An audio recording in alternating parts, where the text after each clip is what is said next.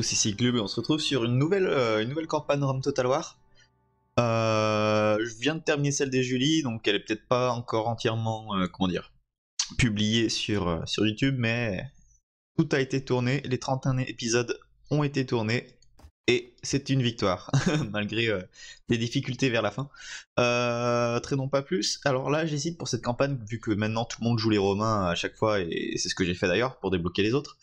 À ce propos, normalement, pas toutes les, les, euh, euh, factions sont jouables dès le début. Enfin, sont euh, après même avoir gagné la campagne, on débloque tout, tout ce qui est jouable. Sauf que certaines factions, comme, le- comme les DAS par exemple, sont pas jouables. Il n'y a pas de description machin. C'est que j'ai bidoué dans les, fichiers du jeu pour les mettre en jouable. Juste un, petit truc à copier-coller, couper-coller quelque part dans un des fichiers. Faut vous regarder ça sur YouTube, ça se trouve facilement.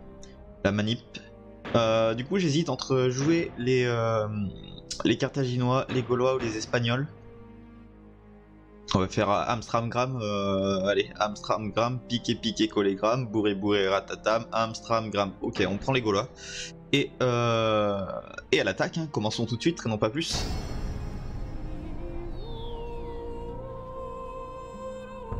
Le grand-père de mon grand-père n'était pas encore né que ces terres étaient déjà nos terres. Ces terres sont de bonnes terres. C'est là que vivent nos dieux, dans les arbres et dans les rivières. C'est de là qu'ils veillent sur nous. Nous sommes heureux. La chasse, la famille, le foyer, voilà notre vie. Une bonne vie. Mais parfois, nous devons nous battre. Les Romains dérangent les dieux. Ils brûlent les forêts. Ils prennent ce qui nous appartient. Nos femmes, nos enfants, nos terres. Ensuite, ils disent qu'ils nous aideront et qu'ils nous protégeront. Ils nous endorment avec leurs belles paroles. Mais quand nous nous réveillons, tout ce que nous avions a disparu. Volé. Ils prennent nos fils et en font de petits Romains. Il faut nous battre pour garder ce qui est à nous et qui doit leur rester. La paix est impossible. Les Romains sont des hommes de pierre et de fer, des hommes sans parole. La seule solution, c'est la guerre.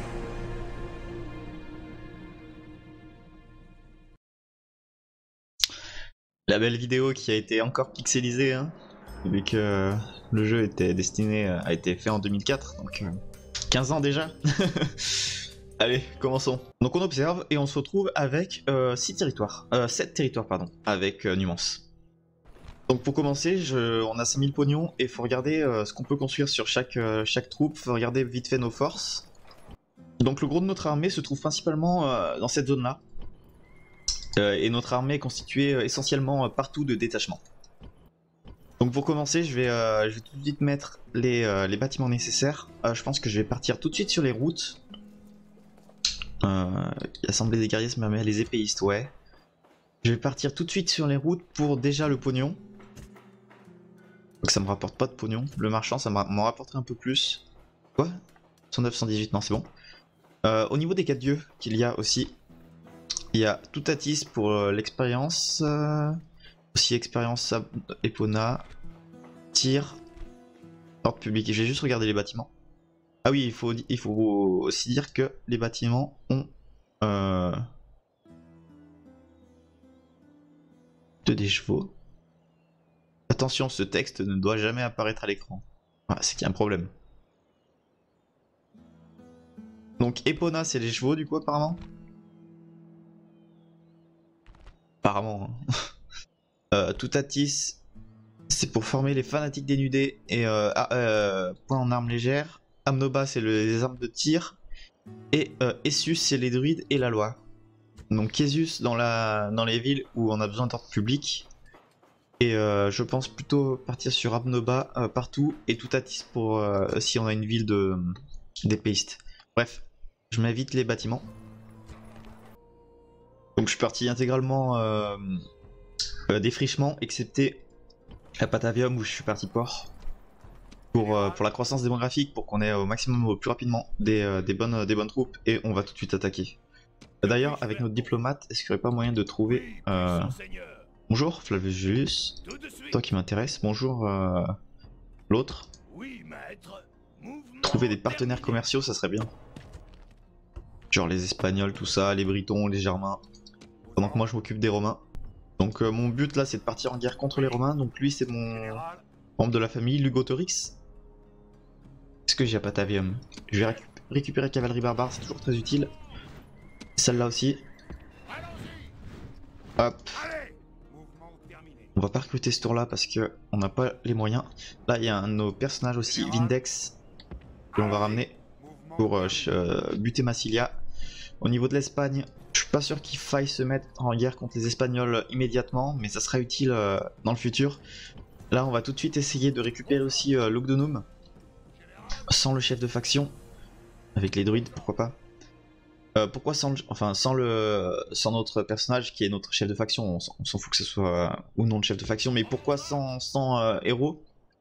Tout simplement pour si on gagne il y aura peut-être moyen d'en adopter un donc voilà le, principe. Et on passe. Et apparemment on est déjà la faction plus, la plus grande en début de jeu.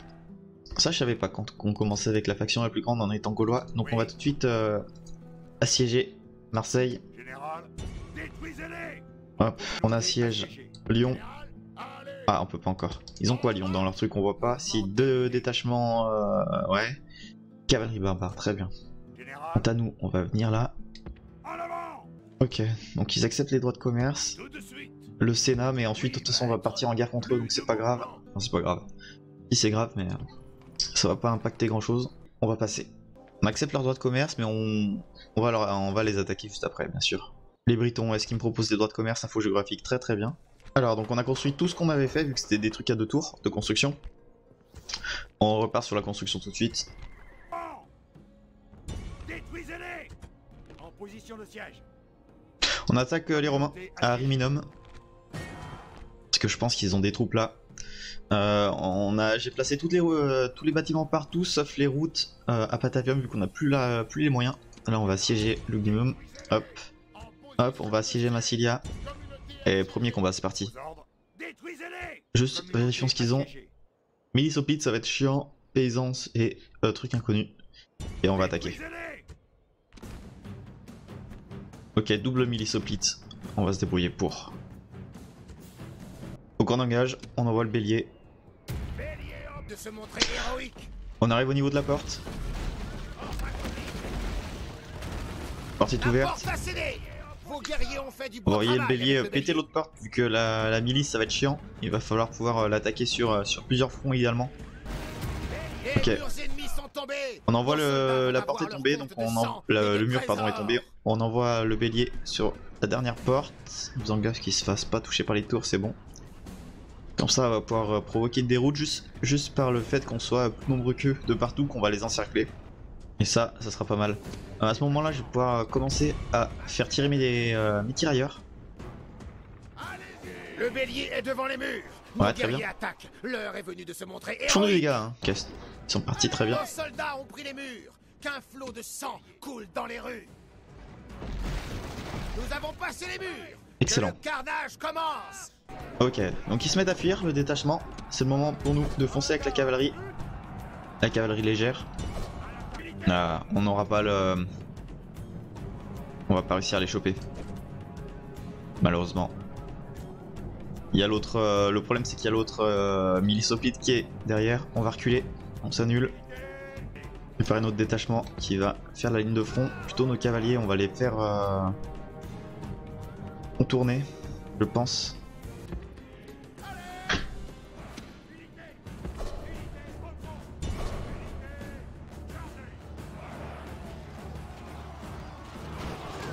Alors j'ai mal géré, euh, très très mal géré. Le problème c'est qu'ils ont formé la phalange.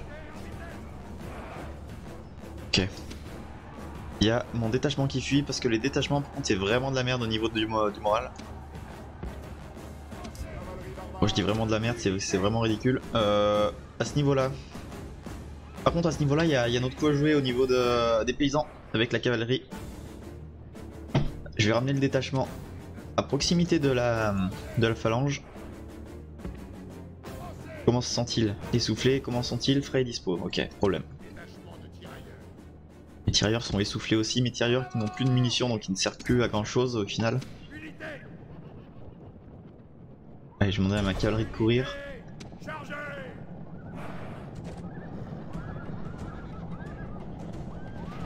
Allez, on bute le maximum de paysans possible. Cavalerie, ça devrait le faire, ça reste que des paysans. On surveille bien, bien entendu.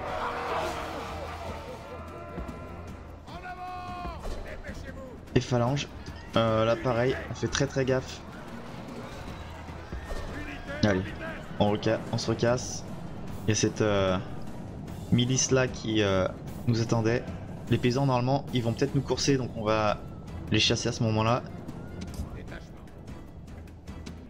On les encercle avec euh, notre, euh, notre tirailleur. Ok, ils sont plus en mode phalange. Ça c'est excellent. Merde, ils repassent en mode phalange, c'est moins bien. Je déteste la phalange. Bon, on les bute euh, à l'arrière avec nos tirailleurs. Ah merde. Pas comment on veut les battre ces phalanges. Par provoquer une déroute. Allez.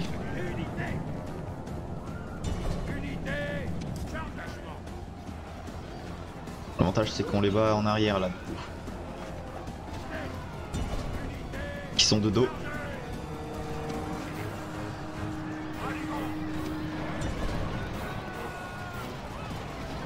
Ils finiront bien par craquer, je pense, j'espère. Ouais, parfait. Donc une phalange de moins euh, ennemie, une troupe de moins entière. Donc il leur reste un petit peu de milices hoplites et quelques paysans.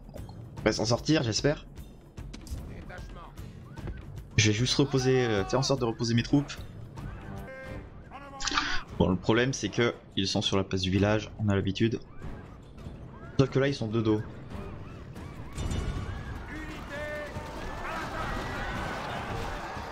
On fonce comme des teubés.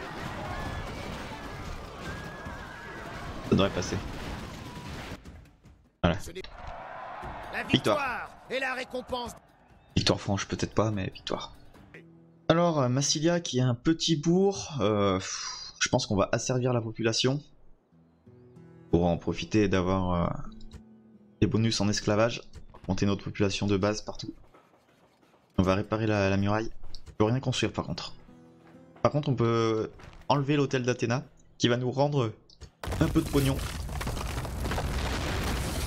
Un truc que j'avais pas fait aussi, c'est euh, augmenter les impôts sur les villes qui sont où c'est possible. C'est-à-dire quasiment partout au final, pour le moment. De nous faire du revenu. Donc je vais passer mon tour.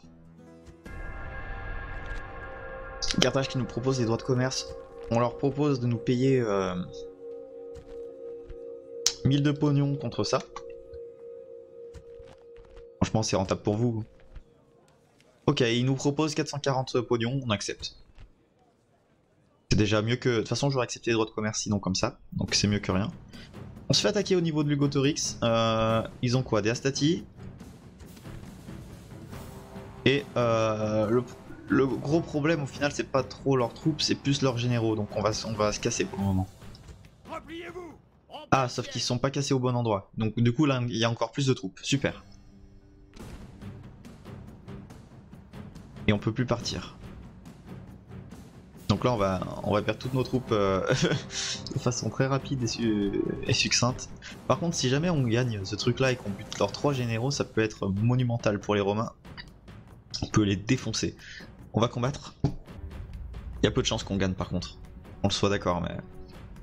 Euh, donc on va pas attendre du tout. On va essayer de gagner tout de suite au plus rapidement possible.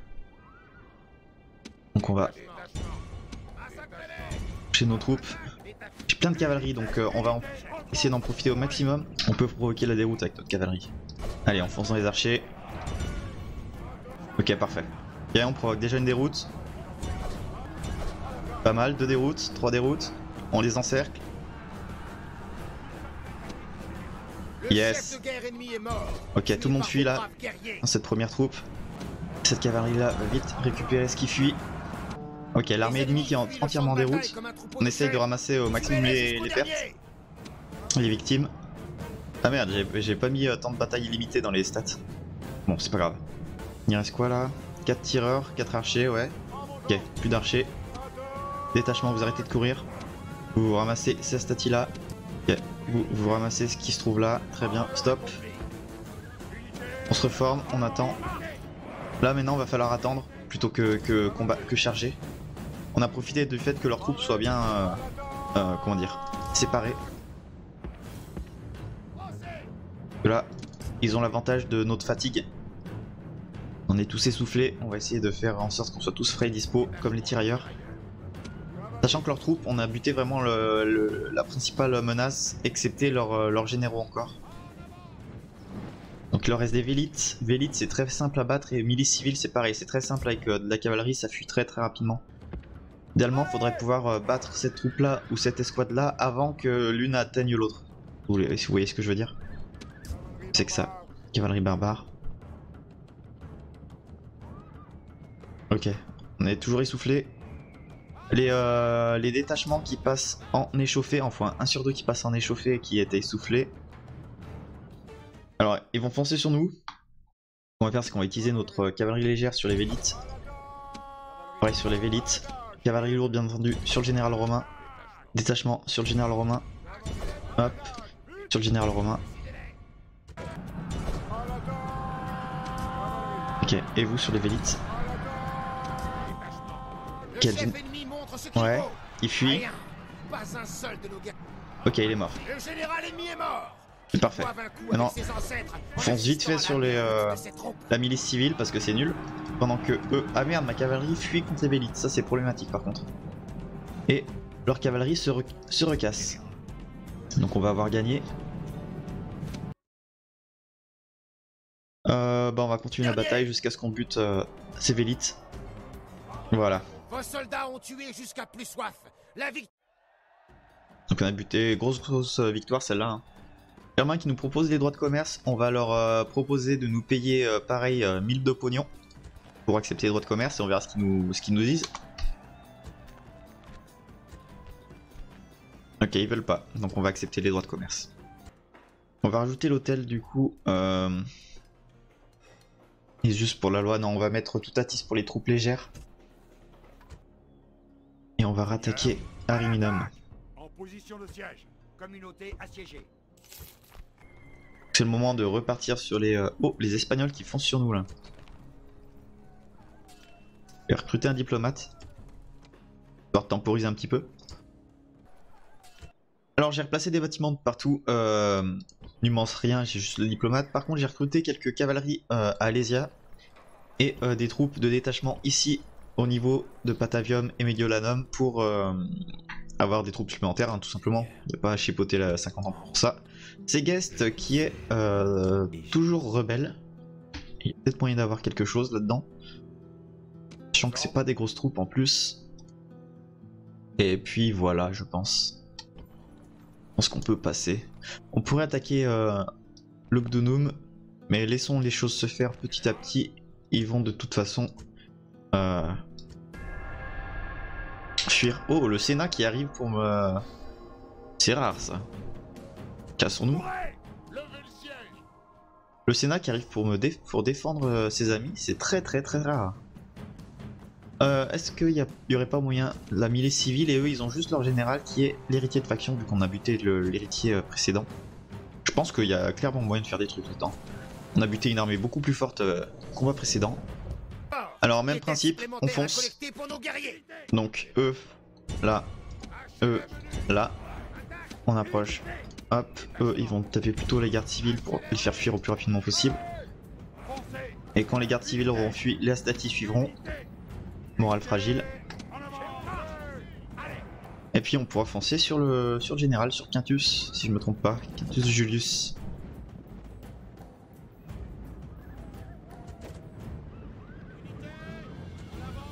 Juste pour utiliser mon cri d'hier sur mes euh, sur mes deux unités.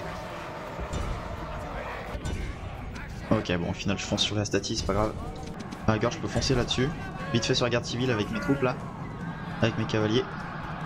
Provoquer la déroute. Le fait qu'une de mes troupes parte en déroute, c'est pas bon pour moi, parce que ça va, ça va leur donner un peu de morale aux autres ennemis. Si on peut provoquer au moins la déroute chez la garde civile, parfait. Allez, on fonce sur la cavalerie. Ok, les Astati pareil partent en déroute, on fonce sur la cavalerie. L'armée ennemie s'enfuit Pourchassez-les J'ai pas été assez rapide, assez vif. Essayer de continuer la bataille pour essayer, euh, si jamais on les atteint, de buter leur général, mais c'est pas passé. Ils sont partis. L'ennemi a fui. On a perdu pas mal d'hommes quand même. On a perdu quoi? Ouais, détachement, un peu de cavalerie. Pas mal de cavalerie quand même en fait. Alors, l'Espagne qui nous propose quelque chose. Les droits de commerce, bien sûr qu'on va les accepter. Et euh, on leur demande s'ils peuvent pas nous payer aussi. 1000. Droits de commerce, ça serait excellent chez les Espagnols. 742 donnés, on accepte. Ils doivent pas avoir les, les finances pour nous donner 1000, donc on accepte. Un bon mari, 4 de commandement, 25 ans, parfait. Oh, il se retrouve en plus à Mediolanum. On avait besoin de généraux par là, c'est trop bien. Et Meriadoc qui euh, devient euh, ma- majeur, donc à 16 ans. On va le foutre, je sais pas où. Donc des- plein de généraux supplémentaires. Trois généraux supplémentaires, deux majorités, donc euh, Merianoc, Belenus, celui-là. Belenus d'ailleurs à, qui on va faire attaquer euh, le. Général Bah non alors. Seulement tuez-les truc en solo. de. Comme j'ai pas assez de déplacement pour les troupes en attendant. Ok donc on va pouvoir construire 2-3 trucs. Je pars sur l'assemblée des guerriers à, Patavium parce que ça sera, je pense, ma zone de recrutement justement des guerriers euh, infanterie. C'est d'ailleurs pour ça que j'ai mis l'hôtel de Toutatis à cet endroit-là. Je place une tour de guet à la limite de mon territoire pour avoir les infos euh, sur leur territoire à eux. Donc dans leur capitale, il leur reste leur chef de faction, quelques Astati milices civiles.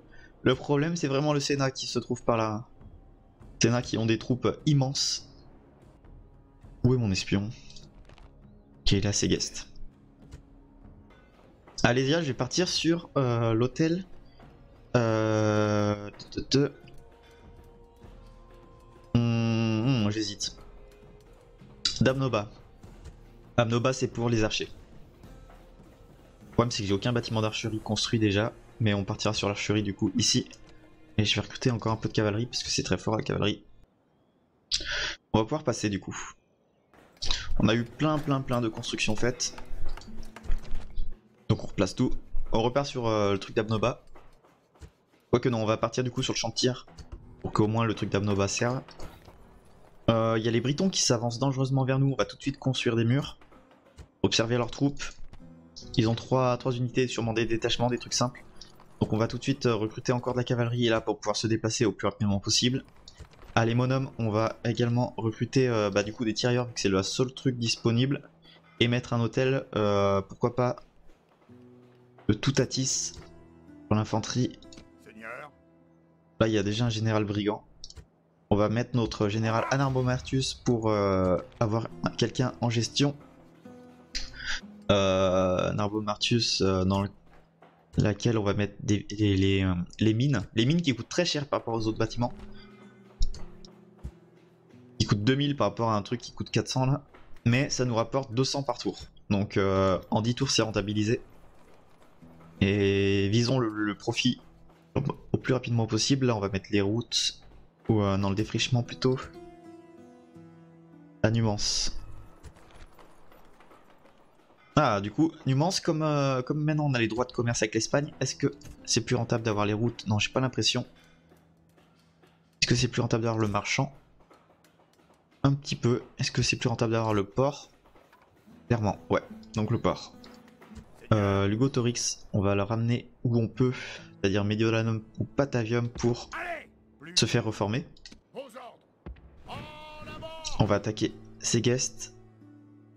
À l'attaque Alors là, combat très simple. hein, C'est, euh, ils ont quoi? Ils ont une troupe de paysans, une troupe de détachement comme nous. Donc on va se servir principalement. En plus, ils se mettent à courir, donc ils vont se fatiguer. On va utiliser notre, notre général pour ça. Ils font des à-coups.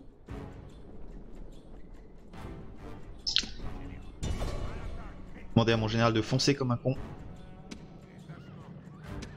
S'arrêter. Il se rapproche trop du centre du village.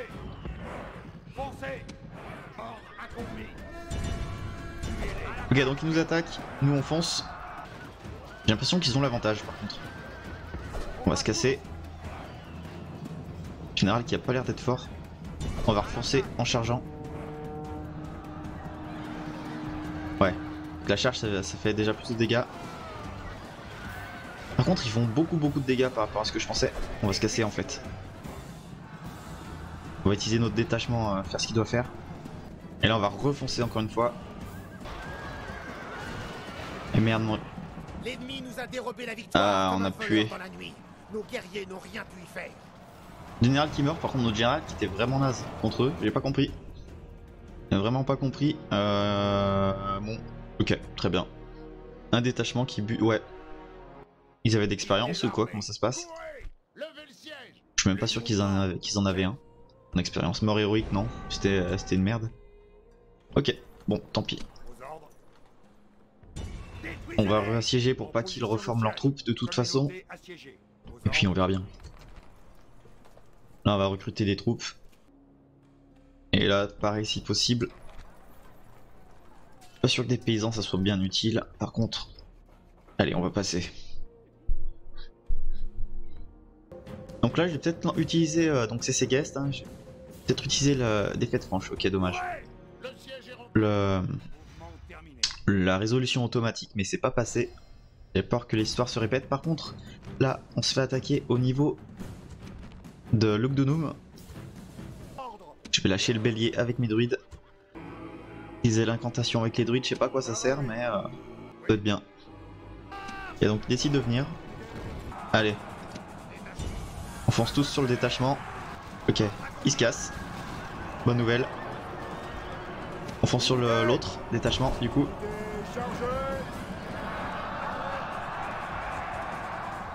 Maintenant on va foncer sur la cavalerie. Le but c'est vraiment de la faire fuir pour qu'on gagne le combat.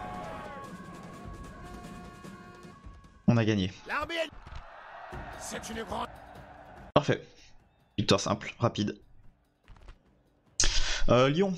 Lyon qui a plus de population que les autres trucs. On va peut-être asservir aussi la population pour que- profiter du bonus de- d'esclavage. Et bébé. Donc on- comme prévu, on s'est bien fait assiéger la Condat Renonum. Donc pour ça, je vais ramener des tirailleurs par là. Et les trois unités de cavalerie que j'avais prévues pour ça. Exprès. Maintenant qu'on a l'Ogdonum, on va pouvoir... Euh... Essus, c'est à nous ça Ouais. C'est notre dieu, donc c'est très bien. On referme vite fait les, euh, trucs. On va foutre, euh, pourquoi pas, un marchand ou euh, le défrichement. Qu'est-ce qui rapporte le plus? Défrichement, pour le coup. Hmm, Qu'est-ce que j'ai comme bâtiment militaire là-dedans? J'ai le terrain d'entraînement. Là, j'ai les écuries, donc on va pouvoir reformer toutes nos cavaleries par là. Hop, on reforme tout ça. Et on va partir sur euh, le marchand. Non. Je sais pas. L'agriculture pour la population. Vous assiégez ça, on va, on va en chier contre une petite ville euh, ridicule. On va ramener l'héritier de faction. Euh, épée, Éporédorix. On bute un peu euh, cette ville, ce village. D'ailleurs, tout se passe bien. Je pense qu'on va continuer à recruter quelques troupes euh, au nord si on doit combattre contre les Britons. Parce que c'est fort, les Britons. Très très fort. Surtout avec leurs chars. Et euh, placer des bâtiments autant qu'on peut. Là où il y en a besoin. Les monums, par exemple. Donc on voit que leur... comment s'appelle-t-il? Euh, Les... Euh, Ariminum, les Romains, euh, commencent à se blinder en, troupes, mais comme ils doivent pas avoir beaucoup de pognon, ils utilisent vraiment que de la milice civile, que de la garde civile, pardon, et c'est vraiment de la daube. Donc ils ont, il leur reste, il leur reste 4 généraux. Le problème vraiment de ça, c'est le Sénat qui est toujours derrière, qui eux par contre ont des troupes vraiment d'élite pour l'époque. Donc ils ont pas mal de vélites, des princeps que normalement n'importe quel romain ne peut pas construire. Pareil, ils ont des triaries améliorées, donc ça, ça va être euh, infernal. Ils ont moins 4 généraux vu que lui est en quatrième, du coup ça c'est un général aussi. Ouais, très très dur le Sénat à combattre. Mais à côté de ça, euh, Arretium, enfin les, les deux villes romaines peuvent se faire euh, assez facilement.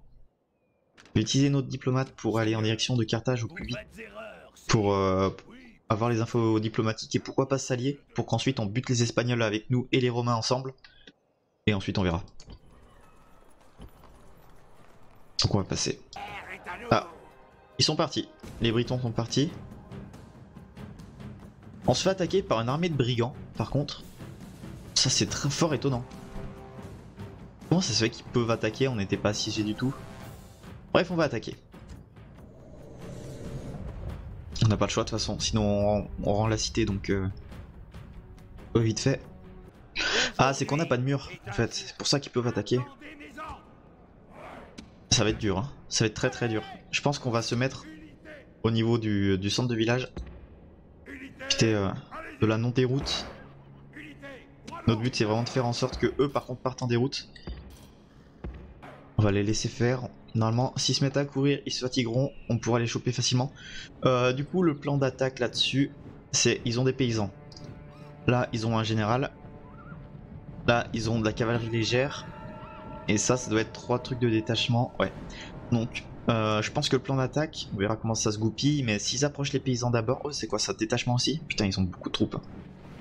Euh, c'est de buter les paysans au plus rapidement possible pour les mettre en déroute, propager la déroute sur les détachements, la cavalerie et enfin buter leur général tous ensemble. Alors je pense, je sais pas comment on va pouvoir s'en sortir, mais on verra bien. Mais le but c'est vraiment euh, utiliser leur faiblesse principale pour provoquer une brèche en fait. Servir des paysans pour ça. On utilise nos trucs. Ok, donc là ça fonce un peu comme des cons.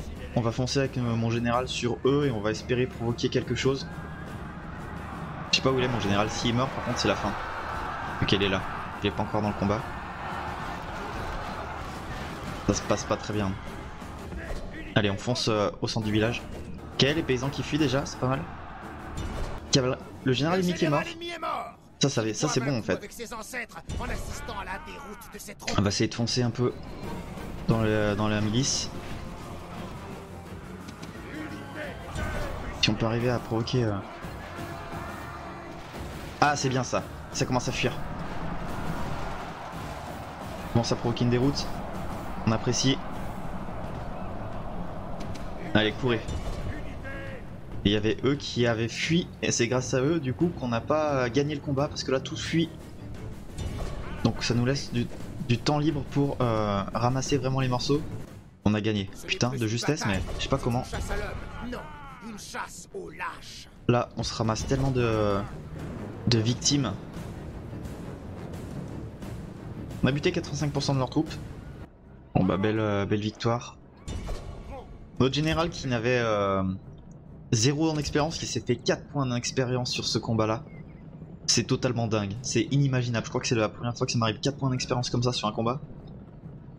C'est ouf. Bon combat. L'ennemi a été foulé aux pieds comme un insecte. C'est une victoire écrasante. Donc notre général qui a buté euh, quasiment à lui tout seul 1200 hommes. Nos détachements qu'on en fait moins. Et étonnamment c'est le détachement qui a... qui a subi le plus, qui a perdu, qui a mis le moins de dégâts. Mais si c'est lui qui a buté le général, autant en profiter. Putain. Bon mari, ouais, on accepte. Et du coup, en plus, comme on a viré cette armée de rebelles, on va avoir euh, le, on va plus avoir le, comment on appelle ça, le, truc au niveau des fermes là, comment il s'appelle ça, la dévastation. Voilà, ça que je cherchais, la zone noire. Donc Meriadoc qui a obtenu euh, des combats, euh, des commandements contre les combats, contre les rebelles et commandements de base, trop bien. Du coup, Narbo Martius, on va partir tout de suite sur les murs. hein. Maintenant, pas deux fois la même bêtise. Et je pense que ça va être la fin de l'épisode. J'espère que vous l'aurez apprécié, un épisode différent de la première série. Parce que j'essaye un peu d'innover, euh, de faire plus de montage. Dites-moi si vous préférez celui-là, si vous préférez l'ancien, si... Ouais, allez, des bisous. Salut.